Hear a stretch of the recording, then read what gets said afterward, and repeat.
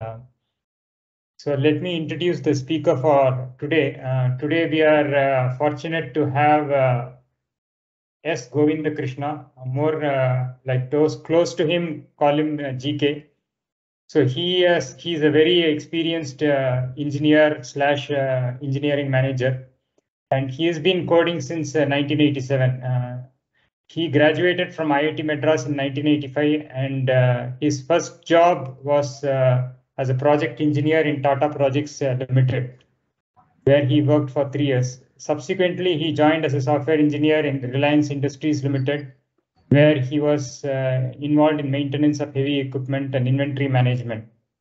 And his subsequent roles in other companies uh, were more software oriented Finally, in 2005, uh, he joined uh, Tally, uh, where he worked for more than eight years.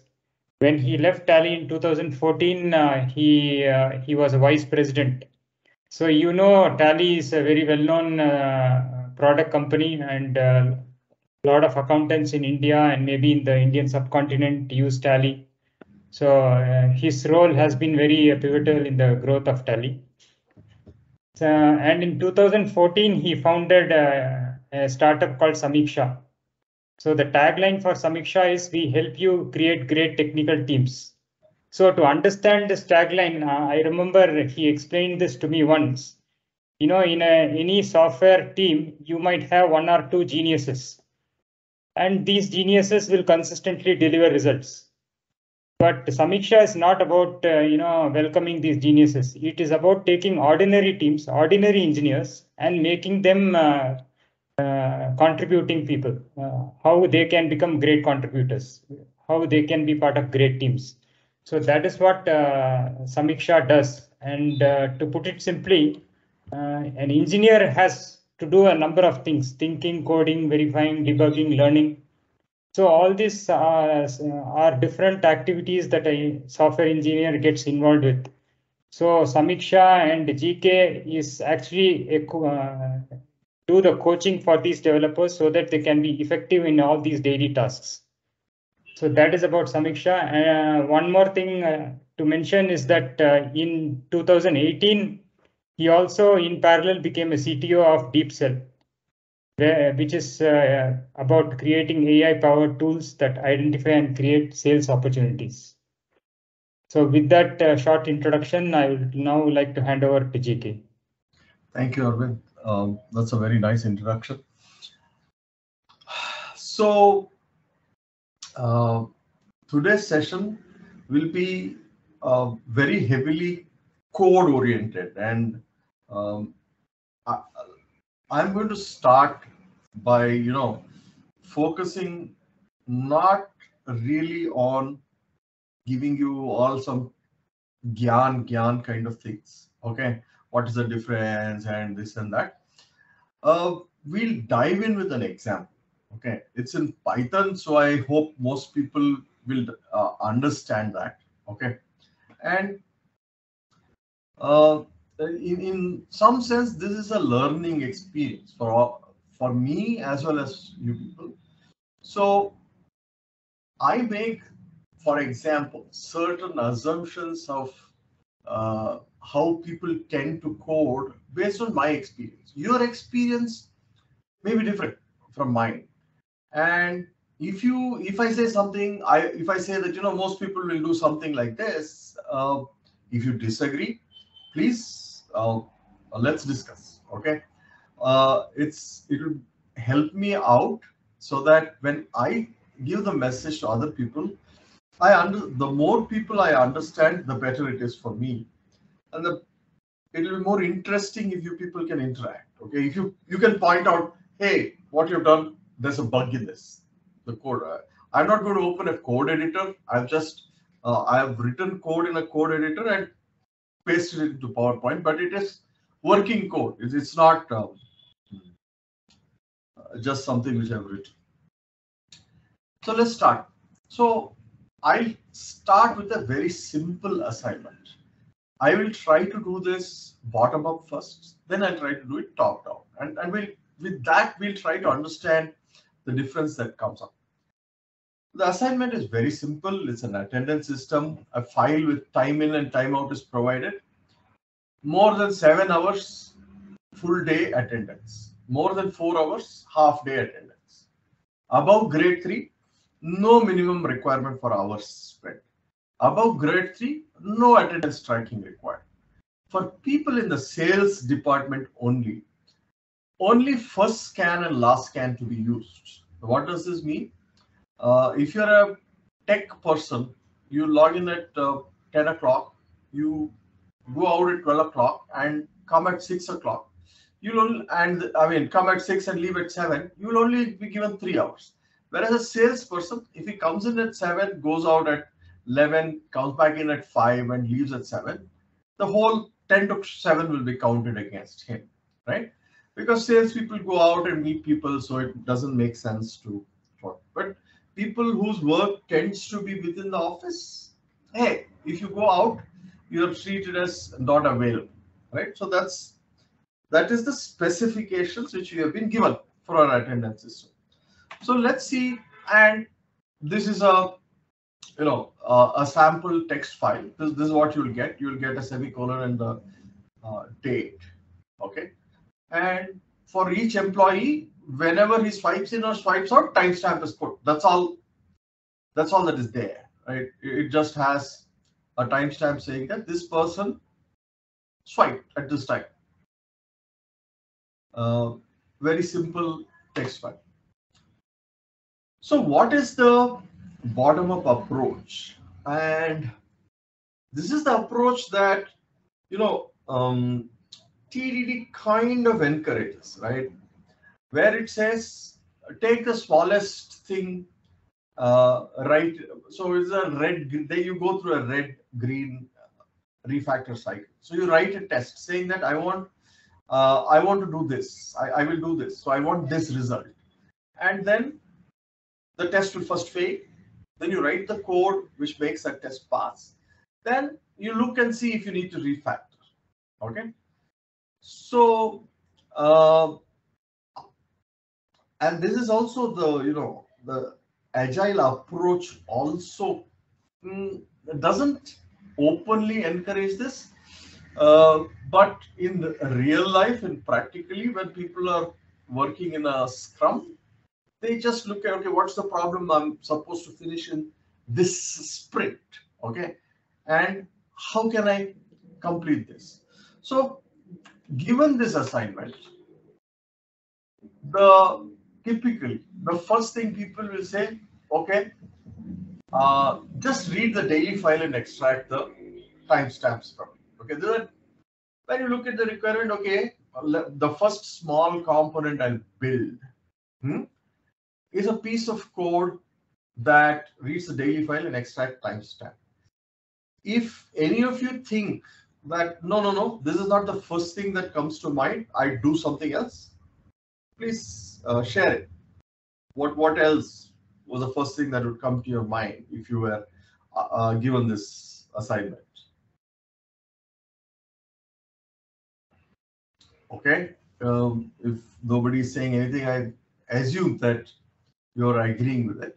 So we will see uh, some kind of code like this saying that, okay, scan date is today's date and I'll have a function called scan timestamp file, which takes scan date as a parameter and it will return timestamp data. Returns data in a dictionary structure for a given scan date where it says employee ID and list of timestamps. That is, if I looked at this, it will look at E002 so scan for other timestamps of E002 and make it a list. And against each employee, I'd have a list of timestamps. That, that's the first thing that uh, comes to mind uh, when I'm tying up something like this, right? Uh, the next thing is to say, okay, timestamps are fine, but actually I need durations. If I see the requirements, it is hours, how many hours kind of thing. So timestamp is not enough. I need to convert these timestamps to hours. Okay. So that's the next small component I'll build. Okay. And convert timestamps to duration, duration in office and total time because For salespeople, uh, we have different criteria. We are only looking at uh, total time, that is uh, first timestamp to last timestamp. For other people, we are looking at duration in office, where we are going to say, okay, first swipe, next swipe, that is a second swipe, that's the duration is there. If the third and fourth swipe, he is that is his balance time, and that is total up. Okay, so might have function maybe uh, maybe I made a class for all this that uh, we can consider, but typically this kind of approach tends to look at it as uh, functions, right? They, they write small functions and say, okay, if I have timestamp data, which is employee ID plus list of timestamp, I want to convert it to employee duration data, okay? And so that takes employee ID and total, it'll give return one more dictionary again, employee ID, but instead of list of timestamps, inside the dictionary, there will be a dictionary which says what's the total duration and what is the in-office duration, right? Again, if I had given this assignment to most people, this is the typical bottom-up approach most people would take. Then, yeah, okay, now we have durations. Now we have to calculate and update the attendance in the database. So at this point, people say, okay, we should have a class and we should have a employee class which does that so that all we need to do is iterate through this um, case uh, of uh, dictionary and create an employee object for each employee ID and call update attendance, which is obviously a method uh, against the employee uh, object and which passes in the scan date and what is the total duration in office and office duration for that person. Does this, so I, I'd like everybody's opinion on this. Does this look like a nice, clean design? Or would you do it differently? And uh, you know, I know there are very experienced people, and, and I do hope to have some interaction. At least say yes, I agree, or no, I don't agree. Yeah, this is Arvind here. Yeah, it uh, looks okay on the, on the first yeah. attempt. Yeah. Yeah, yeah. Right. Uh, okay. One, one, Anyway. one of my reasoning is that people, uh, when they are given a data, they will start from the data.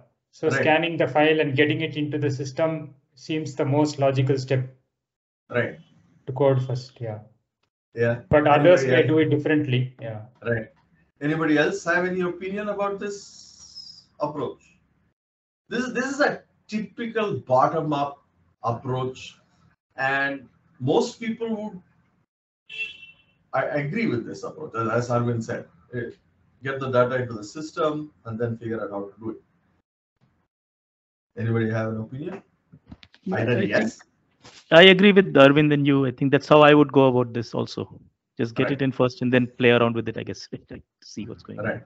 This Right. is a very sequential approach, Uh-huh. but can be thought of uh, in many different ways. Right. Yeah, it is very sequential, and mm, that is true. Th- th- That's a valid, uh, that's a very excellent point actually, because when you build components and try to tie them together, hmm, uh, th- this is the approach which uh, people tend to do. They write uh, small functions and most of the, I mean, if you look at the individual functions, they're not doing anything complicated. Yeah, this just doing some simple processing and returning it, right? Very sequential. Uh, and uh, what I'm saying is, if somebody is given this task in their mm, in a sprint, hey boss, uh, you, you're doing a payroll system and you assign somebody, boss, this uh, somebody is giving this text file, we need to com- uh, complete it and up- update the uh, attendance for employee. A typical approach that you they will take. Okay, and um, let's here. This is the employee class. Just uh, Uh, one more uh, point. Yeah. just to add to what Ramanathan said about sequential approach, see Ramanathan himself is a data scientist where he deals with uh, big data. Right. So he may be uh, coming from that perspective where suppose you have uh, 1 million employees or Right. 10 million entries in that uh, day's record. Right. So you do parallel processing, like chunk Right. the data and then put it through multiple cores. So then the Right. code will look very different. Yes, yes, yes. That is a, if you want to do parallel processing, that is an entirely different game. Let's assume that, you know, that the number of employees are only 20, right? And, and on a day, you don't expect uh, more than, you know, 100 or 150 records. Would, uh, would that look, would that then look reasonable? We wouldn't need parallel processing for that kind of data, especially in Python. And definitely in Python, mm, it's hard, but yeah, that, that's a valid objection. Uh, so then we you would have some uh, employee data. So what happens is when the employee is initialized, we need the grade and department because that is going to affect how the uh, calculation is done. And update data takes the date to update and the duration right? So the business rules are there. If grade is less than three and department is sales, uh, use the total duration. Uh, if it is not sales and the grade is less than three, uh, use the in-office duration.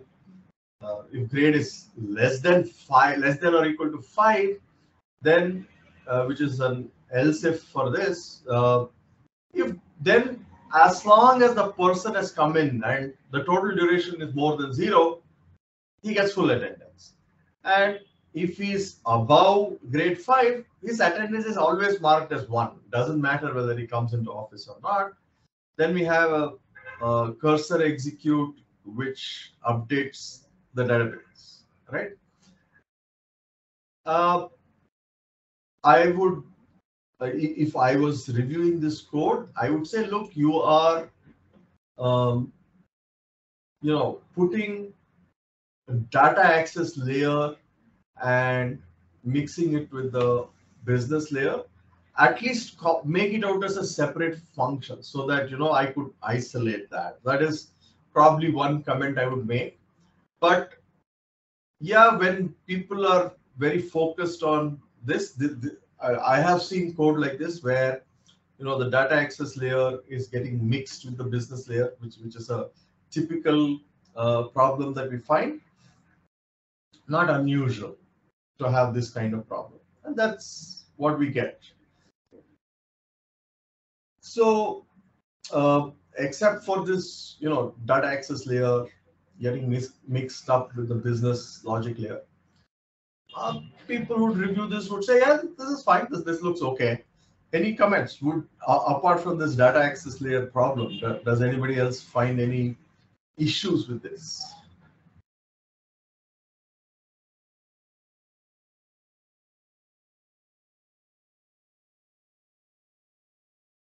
Okay.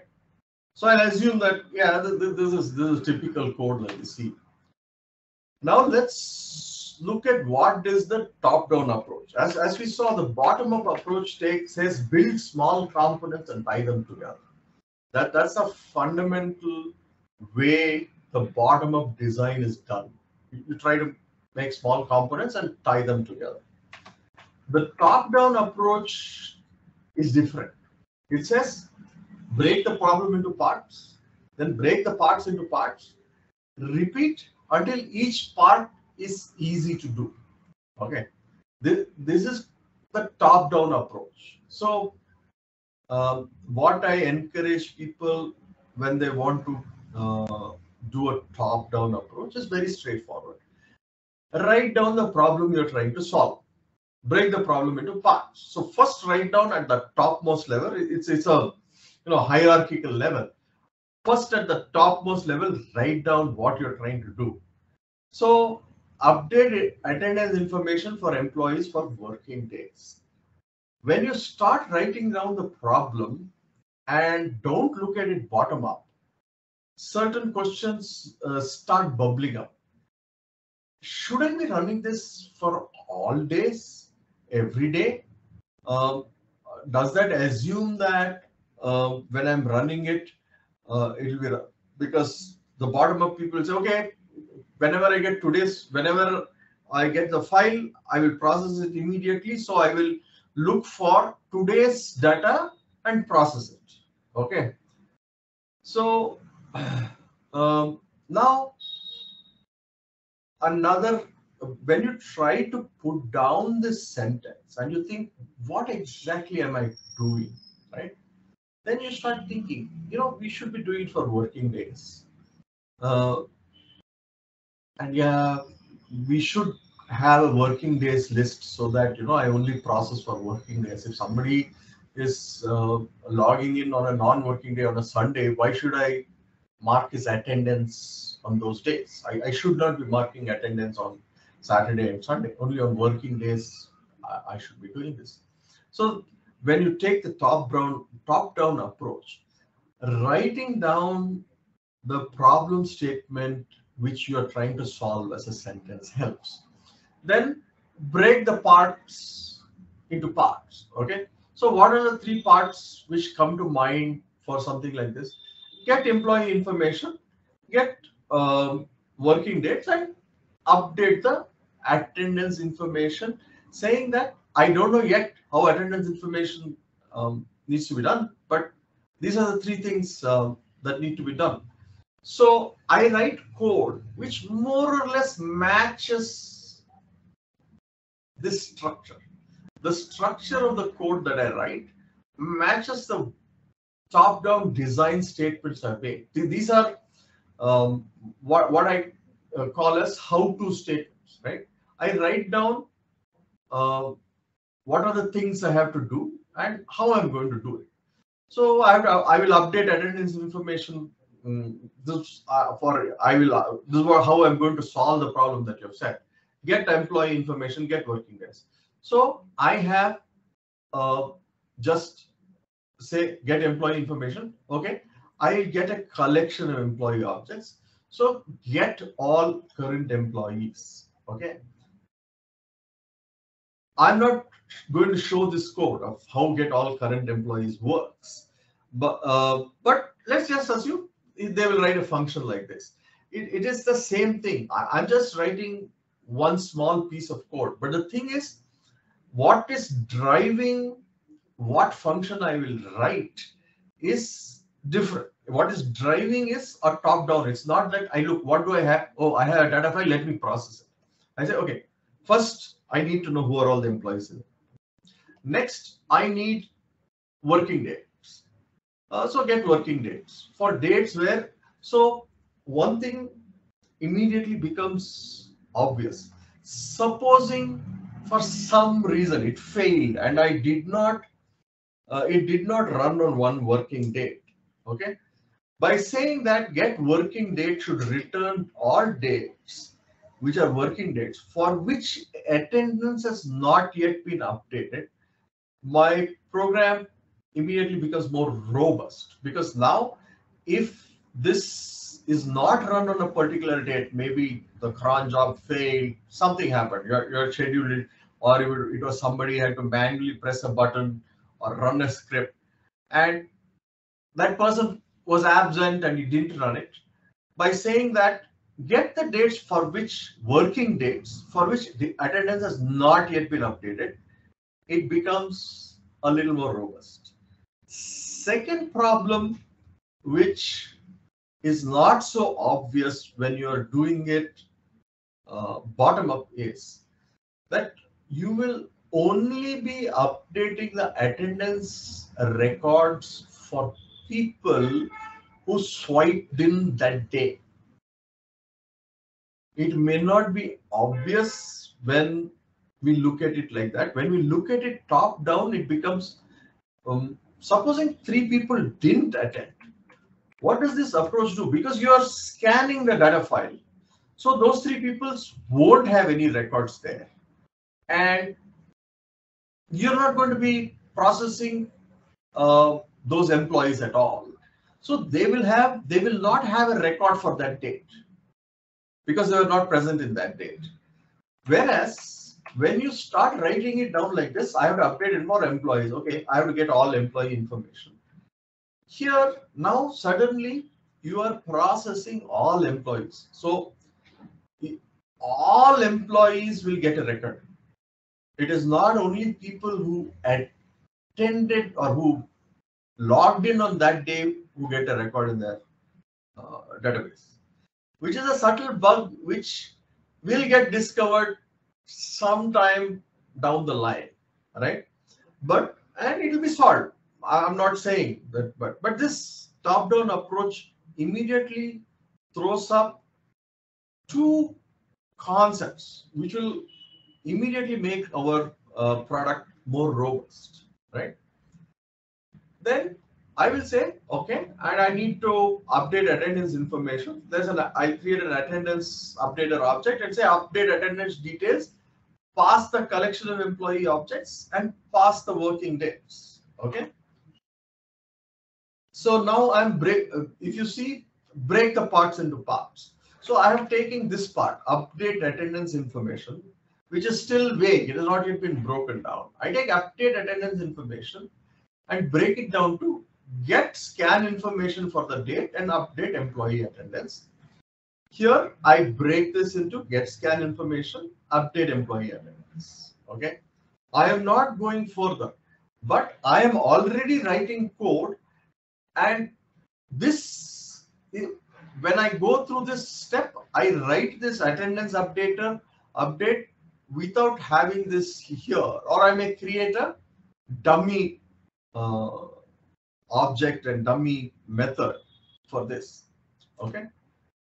So now the attendance uh, updater uh, class is getting created and the method which is update attendance details is written. So I know what I do. So I have to get scan for so working dates gives me a list of working days for which I'm supposed to uh, do it. So for scan date and working dates, scan info is equal to scan timestamp file, which is actually this same same um, function. It's not that the function which you write is uh, different. It's just that it is organized differently, right? So this function is the same as the function we came up with when we were doing the bottom up. And this was the first function we came up with. And we are going to use the same function. It'll return the same thing. It'll give you uh, employee IDs and the list of scan, um, the list of uh, timestamps. Then I the collection of employees, it's already a set of objects. So then I say update employee attendance. I'm not bothered here. I, I'll say later I need to write an update employee method for this attendance updater class, which will accept the scan date, the each individual employee now, and the scan info for that particular uh, employee. And now I say, okay, so this was update employee attendance. Now I'm breaking that into parts and that has only one for the backup called calculate attendance based on employee type. And this is where a top-down uh, shines, especially if you are Uh, object-oriented chunky, right? Because, oh, based on employee type, this sounds like a typical fact which I can do. I I will need to calculate attendance for different employee types. I should probably get an attendance calculator from a factory and do that, right? So I have found when I am working with people and telling them, please break the problem into parts. And whenever I see statement like this based on something, why don't we make it a factory and have a set of uh, attendance calculators, right? Yeah, seems to fit in very easily. Okay, so attendance calculator, I use an attendance calculator factory, which returns an attendance calculator.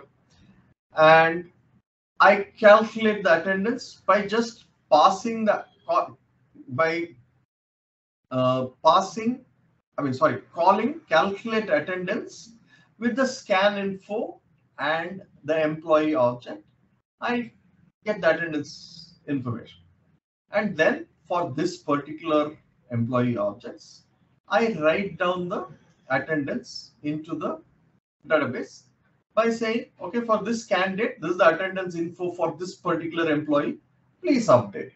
Okay, so attendance calculator factory, very simple. If this is the grade, range of the grade and department is S, I return a salesman attendance calculator. Uh, if he's not, if he's an employee in some other department, I um, return senior management. Sorry. This is if he's a senior management, if he's in a different range. If he's in grade one to four and his department is not S, the default attendance calculator is what gets returned. Okay. If I am handling all the special cases now, if he's a salesperson, I have this. If he's a senior manager, his attendance calculator is different. If he's a top manager, his top manager my attendance calculator is different. Okay. And this is what the default attendance calculator looks like. Because here, uh, same thing, right? Get uh, information, get in office duration for uh, scan. I, I, have skipped a step here that, you know, the, um, this timestamp to duration, I have not shown it, but I assume that the timestamp to duration is um, uh, done here, right? Into the, I'm sorry, it's just a mistake that I made. So um, I need only the get in office duration. I do that. I return the attendance. If it's a salesman, it's a slightly different flow. If it is this, it's slightly different.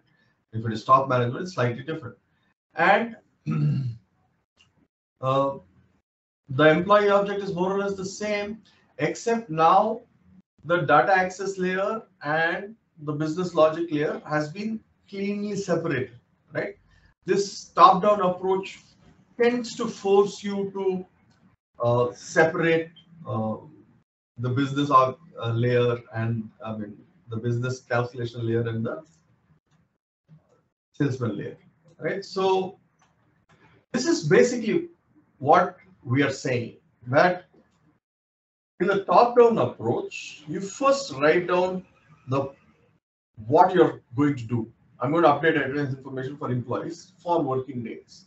Then I will get employee information, get working dates, update this thing. So the structure of the code follows this very closely.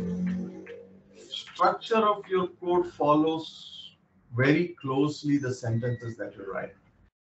And by doing this, very often people, uh, I have worked with a lot of people and uh, I have trained almost every team that I work with. I will conduct um, a top-down versus bottom-up approach session for them, and keep this uh, my personal experience is that the top-down approach tends to favor slightly more modular and better structured code. So I'll stop here and kind of wait for comments because um, we've gone through two examples and I, I would like the impression people have that what is top down very hard to do is bottom up easier to do is top down resulting in better structured code. What what is the feedback from you people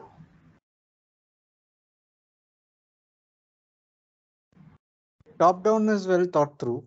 Bottom Hmm. up is without much thought, we start coding and move on.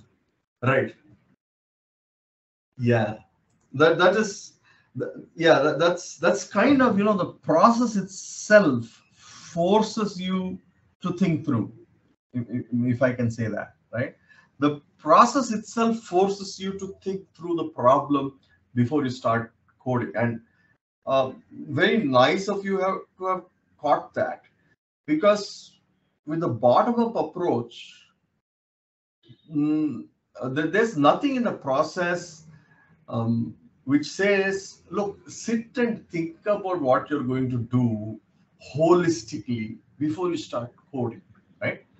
Whereas the top down approach, if you insist, that, that's what I insist, that look, if you're writing a module, if you're writing a module, I want your uh, sentences. We, we call I call this the sentences of what you're going to do as comments in the top of the file, right?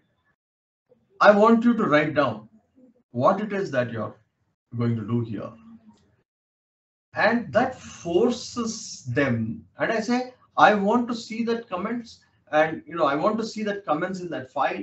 And until I see the comments and you discuss it with me, don't start coding, especially for beginners, right? Or, or people who are uh, just uh, coming on board and things like that. Uh, If they're just starting programming, I don't start this from day one. My, my experience is if you start this from day one, uh, they have not yet worked. So I, I let them start bottom up, which is kind of the default way that we are taught in college, the default way that most people ask you to approach.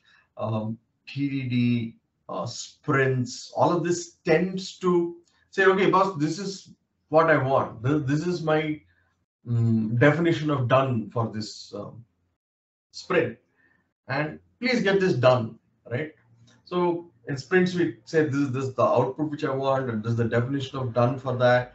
I want code which does this. So I I'll say I want code which updates. And people tend to fall into that. Uh, I let them at least three months. I let them go through that process and find bugs, realize there are bugs, and um, let that go through, right? And then I start telling them, look, you need to think before you code. And people just say, I, I definitely think before coding, sir. But then what I do is I implement a process. Okay, if you're thinking before coding, please write down your thinking in this structure. As it, this is no complicated structure, right? It, it's just a hierarchical um, structure, which any you can do it in any text editor without a problem. Just do this hierarchical structure and show me.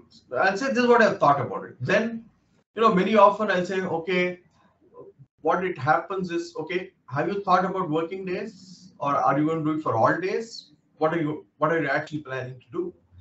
And then, oh yeah, okay, working days.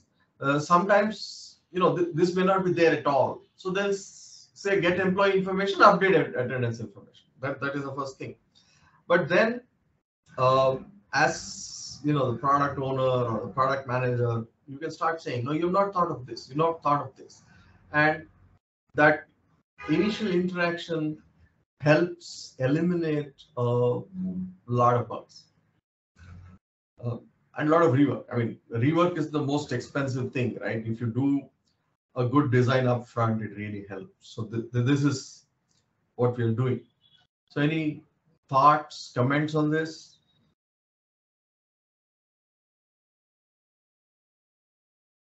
So I think one factor in this is how clear is the problem definition to start with, because sometimes Right. I mean, uh, I think we, at least in my experience, it's like we end up doing a combination of these two, because many times you're discovering things as well, right?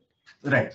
Absolutely. I think in, in this example you had a clear, uh, let's say, objective, Mhm. and then you approach it top down and say, okay, this is what I need to do. Hence, it classifies into these three, which Mhm. further classify into say these nine or whatever, Mhm. something like that. Right. Right. Right. But in reality, like I mean, it's sometimes I think it's a mix that you know probably works Hmm. more sometimes. Yeah. Yeah. Yeah. Valid. Valid. Valid. I mean, I understand that. Um, um, as um, we discussed, right? It's not that what is happening in the bottom up is missing from here. The functions, many very often the functions which are being written are the same. It just says, right? Ask get scan information. That, that's the, the probably the same thing if you were doing bottom up, uh, you you do. And I very valid point that you've written uh, raised. What if the requirement is unclear, Mhm. right? Uh, so and this has happened, right? Look, I, I, I want to achieve something. I I'm, I'm not even sure what I want to achieve, right? Huh? So, what am I going to do in the first pass? Write down what you're going to do in your first pass. What you're going to, uh, if you say, I, I don't know whether this is going to work, whether I'm very sure. Okay, write down your first pass and create a prototype and show it to the person and say, Is this what you want? He says, No. So, um, uh, you can write a lot of uh, it may this structure makes it easy to write dummy code right stubbed out code which returns some mm, hard coded values and which you say later I, I will like for example scan file info right i could in, in this typical situation it's it's very uh, easy to say that scan temp files I, I don't even have the file. I don't have the file with me. I will just, whatever, when I write this function, I'll make sure that the signature, it returns this signature. I can write scan timestamp file as a dummy file. I said, I don't know what the file, I don't know what the file format is. The uh, person will say, look, uh, what is the file format? Right now, I've given you clean scan file uh, information, right? maybe it's not known. Ah, we don't know. There's some employee and timestamp is coming. That's all. I don't know what is the thing. Okay. Until we know what it is, I will write a dummy function here, which is stub, which returns some hard-coded dictionary, right? And say, yeah, the rest of the thing is working. The rest of the thing is working. I I don't know what it is. And if later on um, there are going to be multiple formats for this, I can just make it a factory again, which decides, okay, if this is the format of the timestamp file, use this. But, you know, they all have to return information in this format, right? So uh, I have been through the situation which you're discussing where, you know, some things are unknown. And usually I say, eh, let, let's say we don't know, okay, just, just stub it out or write it out and get the rest of the code working. And uh, when we know the file format, we'll work on that. And so tomorrow, if there are multiple file formats, yeah, just encapsulate that into that scan information, make a scan object, and you know create factory which returns that um, method and um, use that.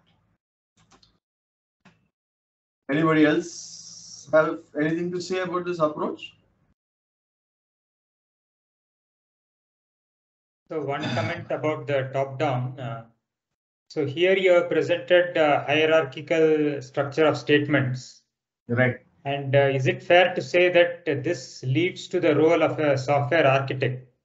Because a software architect would naturally take a top-down approach. He would look Right. at, try to look at the big picture, Mm, and they may do more than uh, you know uh, write these sentences. They will look at Right. UML diagrams, class diagrams, yeah, yeah, interaction diagrams, and so on. yeah. Well, uh, I agree with you. I, I think the architect role is more complex. The the way you know one of um, there's a fascinating article. I, I don't know. I, I I don't know where I, I have it um, squirreled away somewhere. I, I store a lot of articles where um, the key point made was that software de- development is designed all the way down to the person writing the code. Because it's not that you know a beginner who's joined your team is writing some code. Uh, he is likely to be introducing tech debt into your system because of wrong design right? And uh, just compare a car factory to a software development center right in a car factory, somebody does design and somebody does manufacturing, right? But software is not like that. There is no breakup between uh, an architect does architecture, a designer does design, and somebody manufactures code, right? It is it is continuous. You right down to the person who is writing the code, his design, he is also designing code. So it's very hard to draw a line, and uh, that is kind of uh, which is why you know break the problem into parts and then break the parts into parts.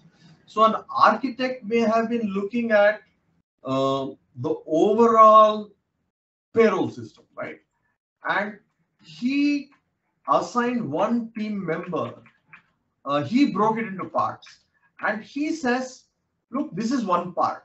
I want a attendance system which takes care of uh, my attendance system and does that."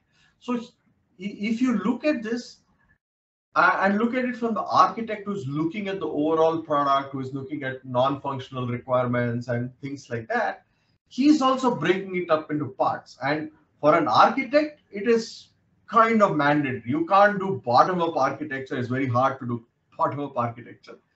But the top-down approach means that even the architect gives what he considers one small module to uh, a programmer.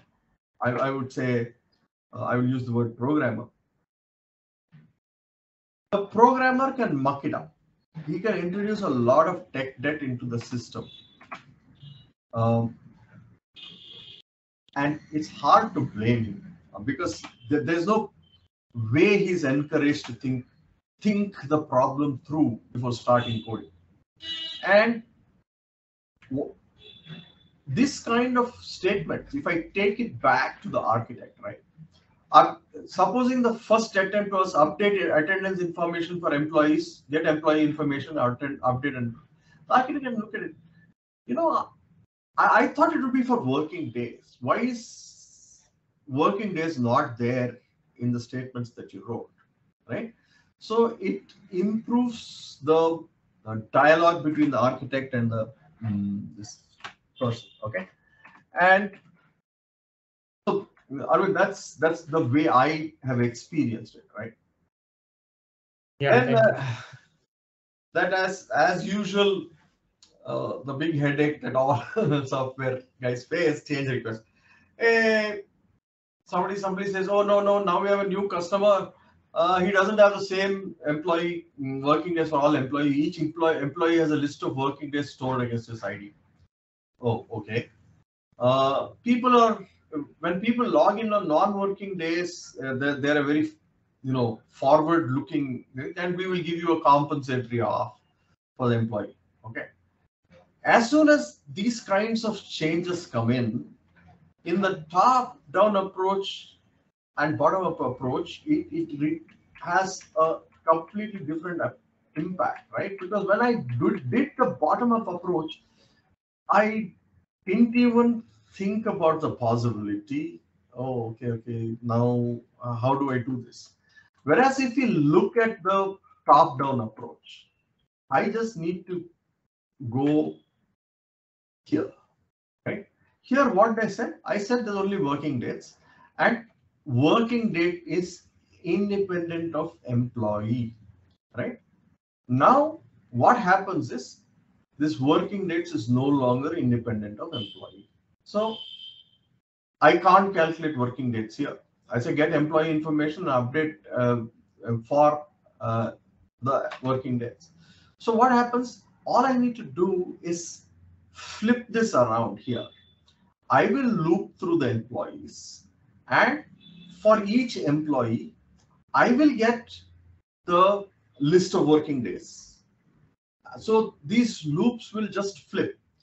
I'll just loop over employees and from the employee, I will get the scan date and then loop through the scan dates and do the same thing. This, this, this function has not changed at all. Just the loops are flipped around here and I need a get working days for employee um, method in my employee this uh, this thing.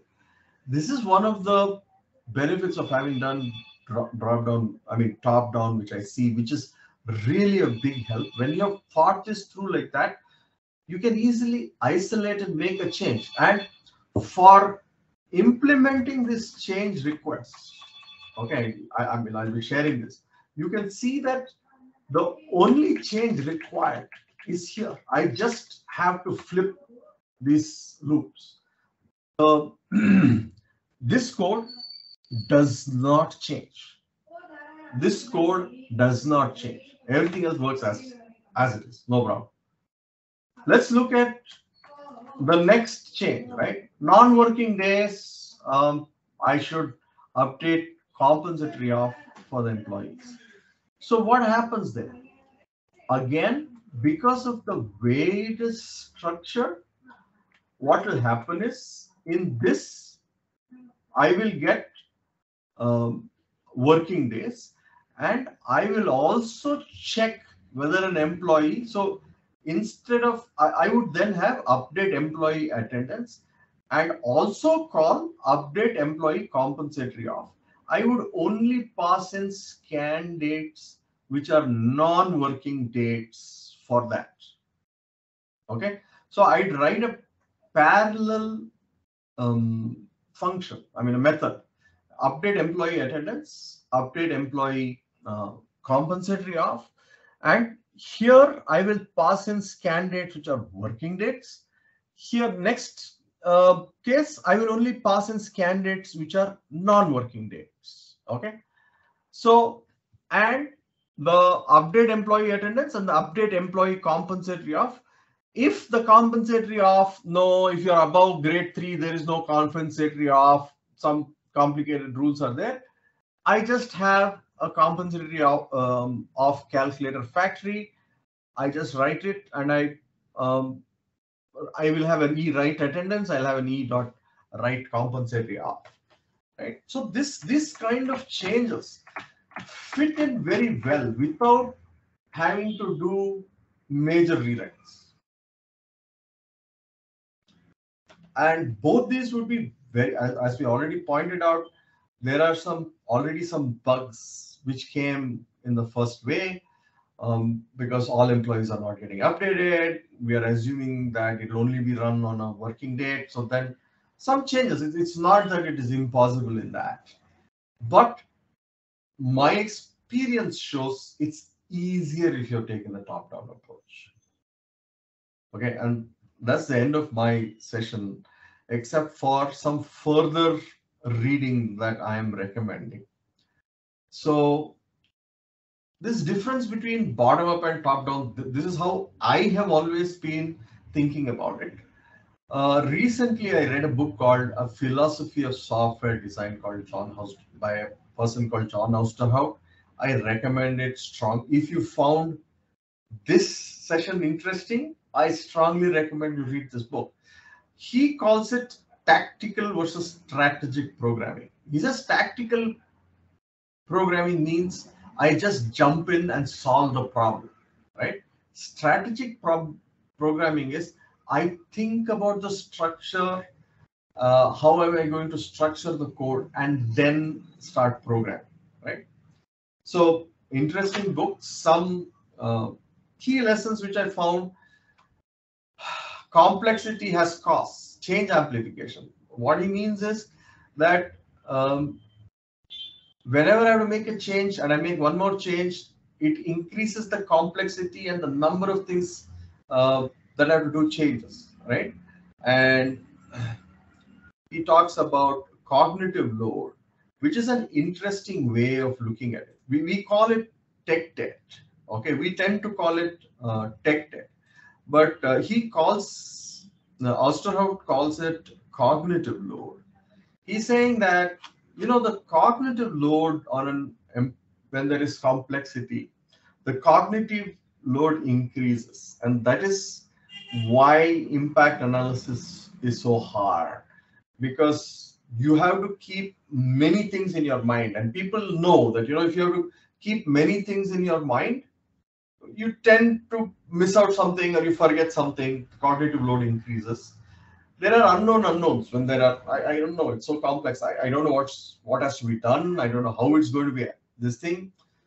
So he lists down reasons for complexity. He says dependencies. Dependencies, of course, are the, the ways for um, we, we can't live without dependencies in software. But he says dependency design, correctly designing the um, dependencies is a key factor, which which he does with something which he calls deep modules, which we will discuss. Obscurity, because when I look at the code, it's not obvious what I should be doing, right? And if I want to make some change, it's not obvious. Hopefully, the person has written comments which helps me to understand. So a lot of things are obscure, right? And complexity, every time you come there and somehow patch the code, the complexity is ballooning, right? It is just ballooning till it becomes unmanageable. So he says the key is to create what he calls deep modules, where the interface is simple. He, he uses a very simple analogy. What he says is the complexity, think of every module as a triangle, okay? The width of the triangle is how complicated the interface is. That is, how complex is the abstraction that you made. The height of that um, rectangle is how much functionality is written into that particular module. Module could be a class, it could be a file. Um, he, he's talking generically, he's not talking specifically about uh, any particular um, software programming language, you know, uh, object or paradigm like object oriented or functional. He's saying, I have a module. I don't know what a module means in your language, but how simple is the abstraction or interface and how powerful is the, this thing. So he says deep modules where the height to width ratio is high. You should try to improve the height to width ratio so that it, this he says, reduces cognitive load. The interface is simple. So another programmer who joins your group can use this module with low cognitive load. So he says pull complexity into implementation. He said, I mean, he basically here what he's saying is uh, many things which are, for example, let, let's take a practical example from our example which we have worked with them. Supposing I say, look, uh, one of the things that you have to pass in as a parameter is the format of the scan file, right? If there are going to be four different scan files, I'm going to have a factory which returns a method, which uh, uh, object which will handle different scan files.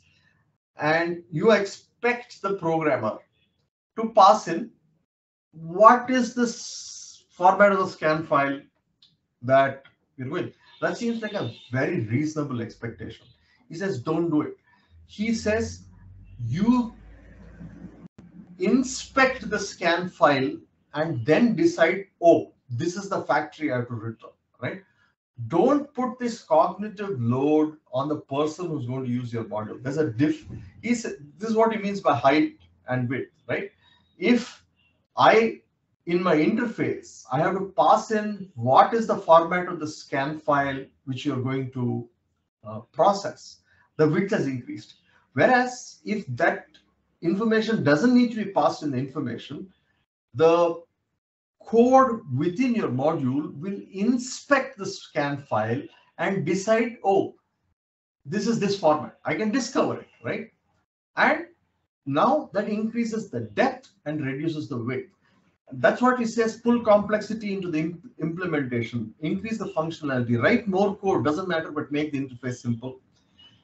Define errors out of existence. What he means is, I doesn't care whether you are passing an error back or you have a try catch this thing. He says, try to, uh, for example, he says, uh, uh, uh, the example he gives is a very simple one. He says, look, if uh, the user says, uh, and he takes many examples from the Unix file handling system. He says, supposing the user says, I want to read the next thousand bytes of the file into the buffer. Um, if there are only 300 bytes, no error will be raised. It'll just return 300 bytes. This is all there is, right? Don't um, raise these errors as well. As well, say that this this is all. I will get you as much as possible, right? So, interesting book. I, I I'm just you know giving very very uh, simple things. It's an excellent book. Uh, if you found this session interesting, I'm sure you'll find this book interesting. And thank you. Uh, see you next time if I'm doing something. I hope you guys enjoyed it. I'm now open to questions, feedback. Thank you, GK. Wonderful session. Any questions from others?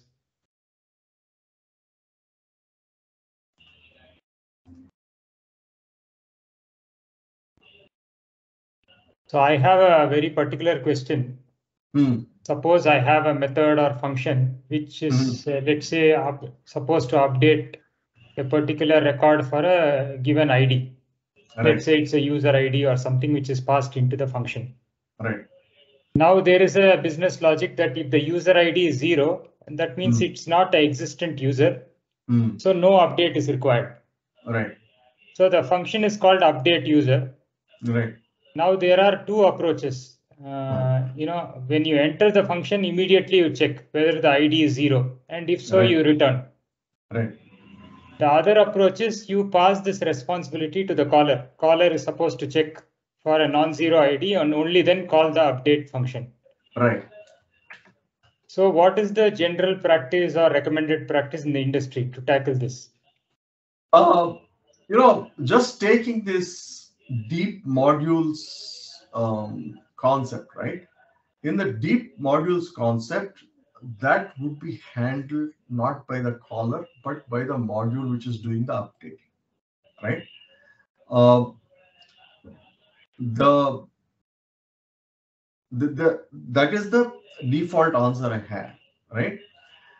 But uh, after a lot of heartburn and hidden errors with this approach, okay, this this uh, results in what I call as um, difficult to discover bugs. Okay, supposing I say that the caller has to uh, handle this error, it means that the caller will know, hey, why on earth have I got an empty ID here? Okay, and I should raise an error. I am not expecting an empty ID, and hence uh, I uh, know there is an error. Uh, did the caller expect me to handle this? So, if this silently swallows the fact, I mean, the module silently swallows the fact that uh, a zero ID came in, you may never know that some code has some problem. It should only be passing in valid IDs, but for some obscure combination of data, I mean, combination of parameters and settings and data, it is passing a zero. So what I tend to follow and recommend for this is, look, handle it. Don't do anything. Don't raise an error. Just say, but log it. But log it and put in as much information. If you know the employee ID came empty and some other data came in, log it saying that this function was called with a zero ID and with this data. Okay. Log it and say this is a, um, I mean, it, it should be logged in at um, a very high priority, right? So if you if you have, ha have a prioritized logging system, this this should be written to the log every time. That is how I would handle this. Make sense to you, Arvind? Yeah, sure. Yeah. Thank you. All right.